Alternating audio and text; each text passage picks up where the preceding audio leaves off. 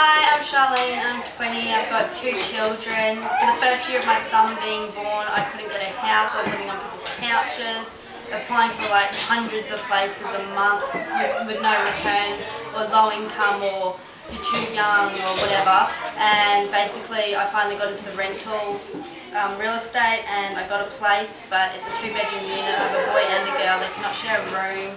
There is no room for anything and I can't get any place more expensive because our income's not high enough.